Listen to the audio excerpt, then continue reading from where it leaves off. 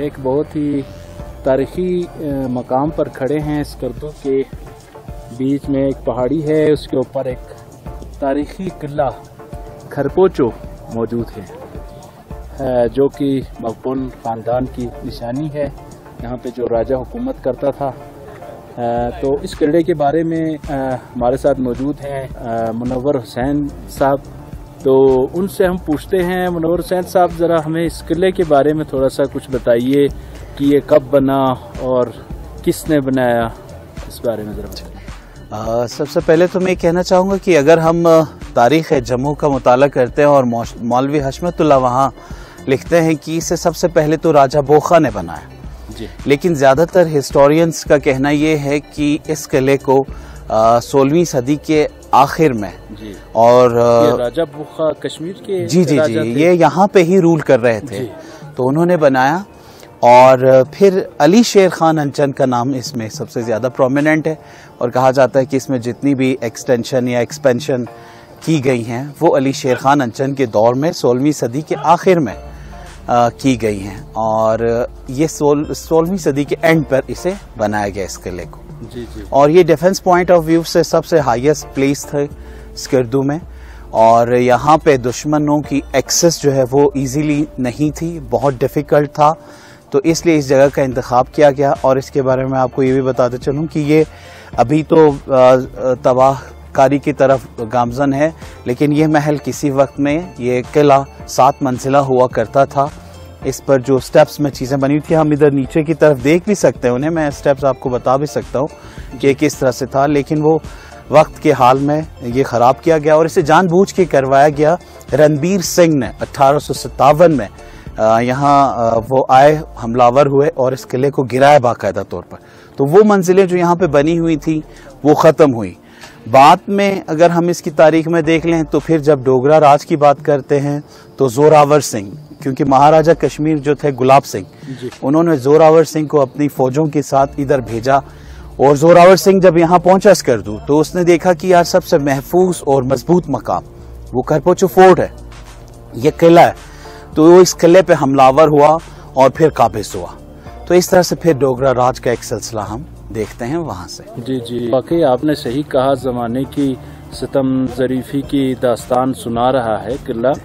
حالانکہ ایک بڑا تاریخی مقام ہے۔ اس کو میرا خیال ہے سترویں صدی میں جی سترویں صدی ہم کہہ سکتے ہیں۔ بنا تھا۔ جی جی۔ بالکل۔ تو ہمیں معلوم ہوا کہ یہاں پہ جو ہے راجہ کے خاندان کے افراد بھی رہتے تھے۔ جی بالکل۔ یا صرف محض ایک چوکی تھی کہ حفاظتی نقطہ نظر سے بنائی گئی تھی۔ راجہ اور ان کی فیملی وہ بھی یہاں رہتی تھی ملکہ رانی وغیرہ باقاعدہ طور سے۔ اور حفاظتی چوکی کا بھی انصر اس میں پوشیدہ تھا۔ کیونکہ راجہ علی شیر خان انچن کے حوالے سے یہ کہا جاتا ہے کہ وہ یہاں پہ کم اور فتوحات کے سلسلے میں مختلف جگہوں پہ حملہ آور رہتے تھے۔ ان کے دور حکومت میں سکردو سے چترال تک اور استور، یہ سارا ریجن انہوں نے فتح کیا تھا۔ تو وہ سب ان کے انڈر کمانڈ اینڈ کنٹرول آتا تھا۔ تو وہ خود یہاں کم ہوتے تھے اور مختلف جنگوں پہ اور مشنز پہ زیادہ نکلے ہوتے تو انہوں نے اپنی فیملی کے لیے کوئی سیف پیسج سیف پلیس چاہا۔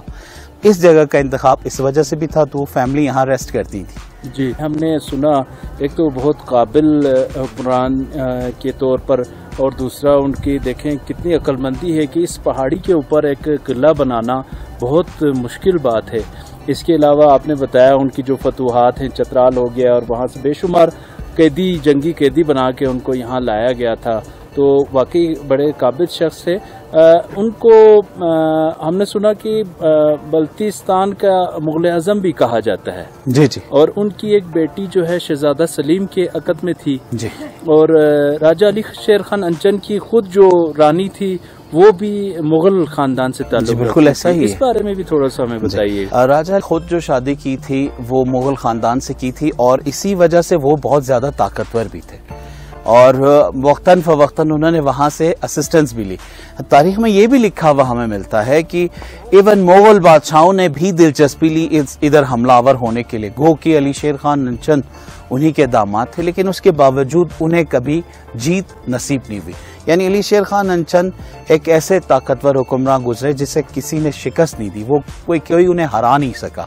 تو اس طرح سے یہ ہے اس کی جی تو اس سے ہمیں معلوم ہوتا ہے کہ راجہ علی شیر خان انچن شہنشاہ اکبر کے داماد جی جی بڑا مریخی دور شہنشاہ اکبر شہزادہ سلیم کا ان سے بھی ان کا تعلق بنتا ہے۔ بالکل ایسا بڑی تاریخی بات ہے۔ بے شک کوئی شک نہیں اس میں ایسا ہی ہے۔ اور اس کے علاوہ آپ کو ایک اور دلچسپ بات میں یہ بھی بتاؤں اس قلعے کی تعمیر کے حوالے سے جو کہا جاتا ہے کہ اس وقت میں اس ہائٹ کے اوپر پانی کو لے کے آنا۔ جی اور اس گارے کو گوننا یہ سارا اس کو بلڈ کرنا اس دور میں۔ جب ہم سکسٹین سینچری کی بات کریں یا سیونٹین سینچری کی بات کریں اس وقت جب سہولیات نہیں تھی لوگوں کو بھیجا گیا اور انڈے جمع کروائے گئے۔ اور ان انڈوں کو یہاں لایا گیا اور اس انڈوں کی سفیدی اور زردی اس سے ملا کے اس قلعے کا گارا گوندا گیا اور اس سے یہ بنایا گیا۔ تو اس لیے کہا جاتا ہے کہ یہ انتہائی مضبوط ہے اور آپ یہ ثبوت دے رہے کہ کئی صدیاں گزر گئی ابھی تک قائم ہے، موجود ہے اس کے آثار۔ تو یہ اس بات کی دلیل ہے کہ واقعا یہ مضبوط ہے۔ اس کی اس سے جو مٹ جو جس سے یہ بنا ہوا ہے، اس سے ہمیں اندازہ ہو جاتا ہے، اس کی رنگت سے بھی آپ صحیح کہہ رہے ہیں کہ یہ انڈے کی زردی کی وجہ سے اب تک یہ دیکھیں مضبوط ہے۔ اس کے علاوہ اس میں ایک اور چیز میں نے دیکھی کہ لکڑی کا استعمال جا بجا کیا گیا ہے۔ جی۔ وہ بھی میرے خیال ہے دیواروں اور چھتوں کی مضبوطی کا باعث ہے۔ جی جی بالکل۔ ہم جتنے بھی قلعوں کو دیکھتے ہیں یا وہ گھر جو موجود ہیں اس وقت بھی ان میں پتھروں کے ساتھ لکڑی کا استعمال اسی وجہ سے تھا کہ وہ ان کی مضبوطی میں اضافہ کریں اور وہ ان ایون نہ ہو ان کی کنسٹرکشن جو ہے وہ بالکل ایک سموتھ رہے۔ اور اس میں تو بہت بڑے بڑے پتھر استعمال کیے گئے اس کی تعمیر میں اور اس طرح سے اسے بنایا گیا اور ایک چیز مزید اس میں میں آپ کی دلچسپی کے لیے اور ناظرین کی دلچسپی کے لیے بتاتا چلوں کہ پانی ایک بہت بڑا ایشو رہا اس جی۔ وقت میں بھی اور بعد کے حکمرانوں کے لیے بھی۔ جی۔ تو اس کے لیے کہا یہ جاتا ہے کہ یہاں سے میری بائیں طرف گنگو پی نہر ایک چینل جی۔ ہے واٹر چینل۔ جسے ستپارہ جھیل سے آنے والے پانی سے یہاں تک لایا گیا اور یہ کام علی شیر خان انچن کی رانی نے انہوں نے کیا کہ انہوں نے کوشش کی محل کے جی۔ قریب تک پانی کو پہنچایا جائے یعنی اس کی بیس تک فورٹ کی جی۔ پھر اسے اوپر لانے میں آسانی ہو مندوق گیلمو نے جو ہے ایک تو دو چیزیں ان کی غیر موجودگی میں بنائی تھی جی۔ ایک تو یہ گنگوپی نہر تھی جو اس کا آپ نے تذکرہ کیا ایک قلعے کے نیچے جو سٹارٹ میں ہم نے دکھایا کہ مندوق خر جسے کہتے ہیں جی۔ چوکی کے طور پر۔ جی۔ تو وہ جب واپس آیا تو انہوں نے رانی سے کہا کہ یہ جو میرا خیال ہے ایک چیز کے بارے میں انہوں نے کہا تھا کہ اس کی تمہیں سزا نہیں اور ایک چیز کا انعام نہیں۔ انہوں نے اس طرح کا برابر جی۔ کر دیا تھا یعنی ایک چیز تم نے اچھی بنائی ہے ایک چیز صحیح نہیں۔ اس بارے میں بتائیں مجھے ذرا تھوڑی سی۔ وہ ہو گئی کنفیوژن ہو گئی کون سی کون سی میں ایسا ہے کہ انہوں نے یہ کہا جب وہ واپس لوٹے تو انہوں نے دیکھا کہ پانی کی نہر قلعے کی بالکل بیس تک پہنچ جی، گئی ہے جی۔ اور اس کے علاوہ وہ مندو کھر یعنی کھر ویسے محل کو کہتے ہیں جی۔ اور وہ جگہ کیونکہ رانی باغات میں اور پھولوں میں ان چیزوں میں بہت انٹرسٹ رکھتی تھی۔ اس میرے جو دائیں طرف میں جو پھیلا ہوا ایریا ہے اور میرے پیچھے سائڈ پہ جو چھمک کہہ رہی ہے یہاں چہار باغ کے بھی ہسٹری نے لکھا ہے کہ یہ جی۔ باغات ہوا کرتے تھے رانی کے پیچھے نانسوک بھی ایون باغ میں آتا تھا ان کے۔ اس وقت دریا اس طرف سے نہیں تھا۔ دریا پہاڑ کی طرف سے تھا اور یہ شدت جگہ ہے نانسوک وہاں بھی ہم چلیں گے انشاءاللہ ناظرین کو وہ بھی دکھائیں گے۔ جی, جی۔ تو پھر جب وہ واپس پہنچے تو دوسرا یہ تھا کہ انہوں نے پانی کے لیے رستہ بھی بنا لیا تھا قلعے سے نیچے تک۔ تو انہوں نے کہا پانی پہنچایا اس کا تمہیں انعام۔ اور رستہ بنا کے تم نے دشمن کو قلعے تک ایکسس دے دی اس کی تمہیں سزا۔ تو لہٰذا چلو میں دونوں ہی نہیں دوں تو میں معاف کر دیتا جی تو انہوں نے پھر انہیں معاف کر دیا تھا۔ اچھا ہمیں یہ بتائیے کہ جو ایک یہ مسجد ہے جی۔ اس کی بھی ایک بڑی تاریخی حیثیت ہے۔ یہ ہمیں ڈبل سٹیپ میں نظر آ رہی ہے لیکن یہ تین منزلہ ہوا کرتی تھی۔ جی۔ اوپر والی منزل اس کی وقت کے ساتھ ساتھ وہ روئن ہو گئی تباہ ہو گئی ختم ہو گئی۔ اور یہ اسی وقت فورٹ کے ساتھ اس کو بلڈ کیا گیا تھا اس مسجد کو یہاں عبادت کے لیے استعمال ہوتی لیکن اس میں ایک دلچسپ بات میں یہ بتاؤں کہ اوپر والا فلور تو نمازیوں کے لیے تھا۔ جی۔ لیکن ہم اگر اگر ہمیں اندر جانے کا موقع ملا تو میں آپ کو دکھاؤں گا کہ نچلے فلور کو جو اس کا جو تے خانہ ہے اس میں قیدیوں کو رکھا جاتا تھا۔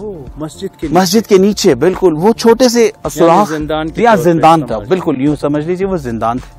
اس میں چھوٹے چھوٹے سے باکس ٹائپ جگہ بنی ہوئی جس میں سے نکلنا مشکل تھا تھرو کیا جاتا تھا انہیں نیچے ڈراپ تو وہ ڈراپ کر دیتے تھے اور قیدی اس میں اور وہ بالکل اندھیرا تاریخ تو زندہ. تو نچلا لیول آج بھی ویسا ہی ہے اوپر ایک فلور قائم ہے۔ راجاؤں کی داستانوں میں ہمیں ملتا ہے جی۔ زندانوں کا تذکرہ۔ جی جی. تو آپ کے اس زندان کی بات سے مجھے یاد آیا کہ ہم نے یہ بھی سنا تھا کہ اس میں مختلف قسم کے خفیہ راستے ہیں۔ جو ایک راستہ ہرگیسا نالا کی طرف کھلتا ہے یا ایک راستہ نیچے دریا کی طرف تو نہیں معلوم۔ ہم یہ کہہ سکتے ہیں مت ہی ہے ایک کہانی ہے جس کے بارے میں کنفرمیشن ہمیں نہیں ملی۔ جی۔ وہ اس لیے کہ کہا یہ جاتا ہے کہ ایک ہرگسا میں وہ مقپون سری زمبا کہتے ہیں۔ جی۔ ایک پل ہے جی۔ نرگسا نالے کے اوپر بنا ہوا ہے۔ وہ سری راجہ زمبا سے مراد اسی لیے تھا کہ مقپون خاندان۔ کے نام۔ پہ کہ وہاں پہ بھی باغات تھے ان کے۔ اس کے اندر سے ایک راستہ وہاں نکالا گیا اور ایک یہ پیچھے دریا سن کی طرف نکالا گیا۔ خفیہ راستے بھی ہوں گے قلعوں کی تاریخ میں آ، یہ بات ضروری ہے کہ ان کے خفیہ راستے بھی ہوتے تھے۔ جس طرح ہم نے مختلف قلعوں کے بارے میں سنا ہوا ہے شاہی قلعہ لاہور اور اس طرح کے بے شمار قلعے۔ تو لیکن وہ آ، تاریخ کی آ، اوراق میں گم ہو چکے ہیں۔ ہمارے لیے ان کا کچھ آ، جاننا مشکل ہے۔ تو ناظرین، آئیے اب ہم آپ کو قلعے کے جو ہے جو مختلف مقامات دکھاتے ہیں کہ یہ قلعہ کس طرح تعمیر کیا گیا ہے۔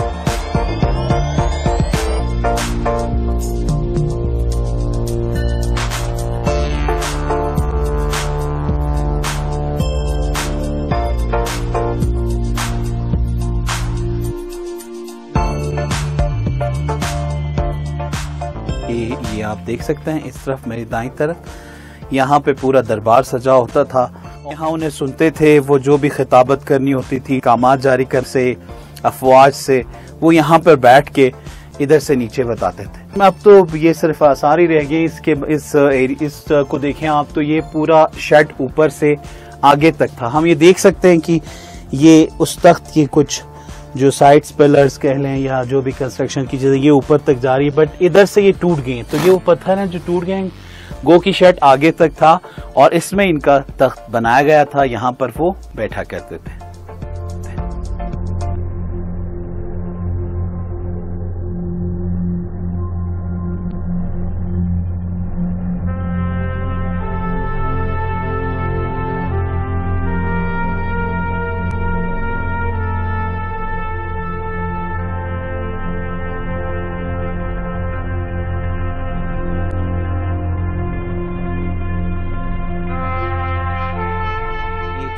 جو ہیں اس کے اوپر جو یہ کارونگز ہیں اور یہ اوپر بھی یہ اس کے ایجز پہ یہ یہ سارے کے ساری وہ آرٹ ہے جو کشمیر سے آئے ہوئے آرٹسٹ نے اور ایران سے آئے ہوئے آرٹسٹ نے انہوں نے کیا اور یہ آرٹ ان کے وہاں سے ہوتا ہوا ہم تک پہنچا ہے اور اس کی جھلک ہمیں یہاں پر بھی اور انسائڈ میں بھی اگر ہم دیکھیں تو یہ جو مسجد کی جو بیس میں جو بنی ہوئی ہیں، جو اس کی بیسمنٹ ہے، یہاں پر بھی ہم دیکھ سکتے ہیں کہ ادھر بھی یہ اوپر ایجز کے اوپر یہ یہ دیکھ لیجیے یہ ان ایجز پہ، اور پھر جس طرح سے اس کی فارمیشن ہے، یہ لیمپس وغیرہ کے لیے جگہ، اور یہ لکڑی ہے، اور مٹی ہے، اور لکڑی ہے، پھر مٹی، یہ سب وجہ ایسی، اس ایسی تھی کہ اس کو اس طرح سے بنایا گیا تاکہ یہ مضبوط ہو۔ اور جیسا کہ میں نے آپ کو پہلے ایک بات کہی تھی کہ یہ جو اس کی فاؤنڈیشن ہے، اس کی جو بیس ہے، یہاں پر قیدیوں کو رکھا جاتا تھا۔ ہم دیکھ سکتے ہیں کہ اس میں کوئی ڈور نہیں ہے۔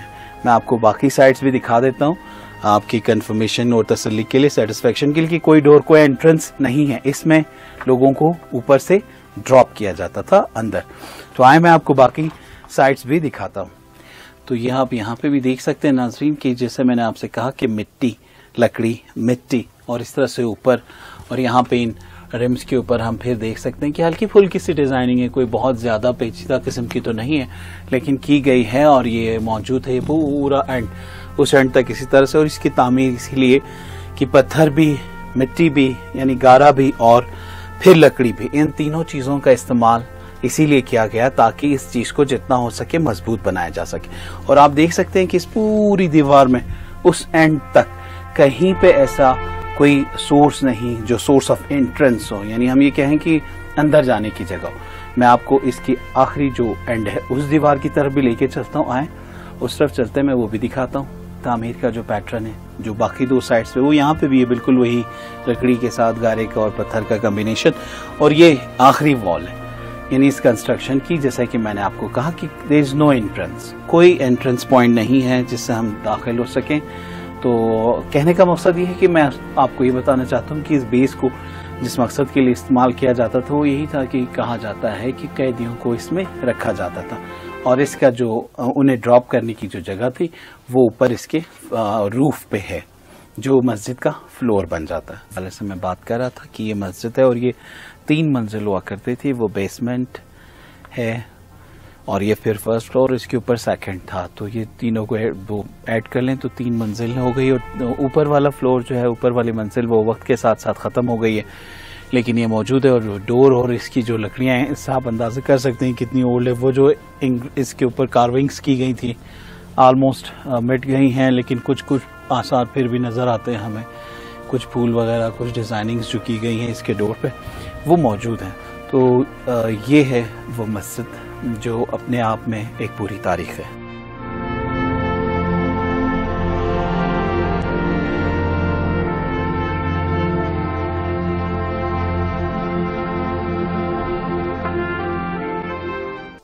ہم دیکھ سکتے ہیں قلعے کا جو اندرونی منظر ہے اور قلعے کی جو بیرونی دیوانے ہیں جو کہ مختلف بیرکس پر مشتمل ہیں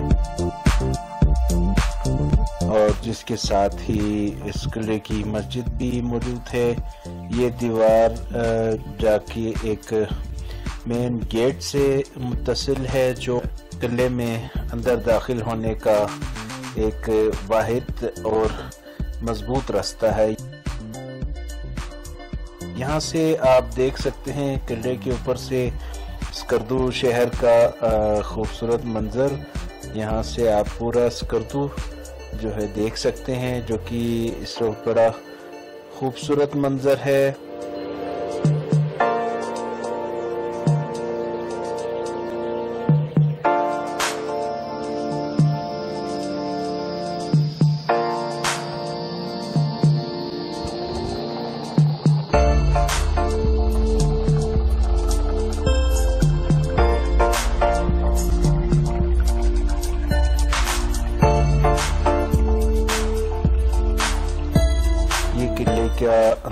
منظر ہے، ایک دروازے سے ہم داخل ہو کر دیکھتے ہیں کہ اس کمرے کے اندر کیا حالت ہے۔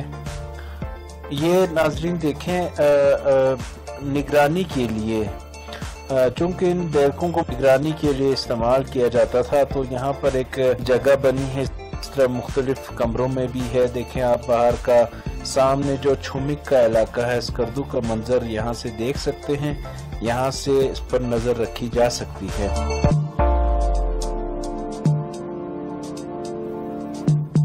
یہ چھت کا دیکھیں آپ، اس وقت کی لکڑی کی چھت ابھی تک بہت اچھی حالت میں محفوظ ہے اور موجود ہے۔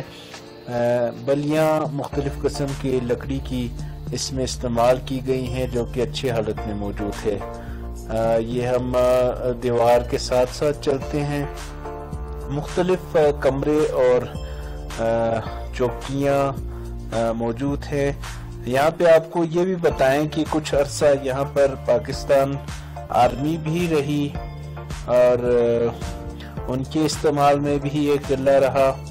یہ مختلف کمرے ہیں، مختلف بیرکس ہیں۔ اور اس کے اندر اگر ہم دیکھیں تو اسی طرح کی نگرانی کرنے والی جگہیں اور یہ بڑا حال ہے۔ اس قلعے کی چاروں طرف جو ہے مختلف قسم کے کمرے بھی بنائے گئے ہیں دیوار کے ساتھ ساتھ۔